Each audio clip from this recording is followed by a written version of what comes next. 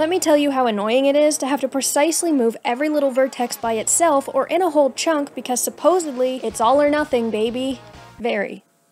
It's very annoying. But what if I told you there was a way to manipulate your models with a form of gradient roll-off? If you're new here, hi, I'm Skitty. Let's get 60 seconds on the clock and learn all about a Maya feature called soft selection, starting now.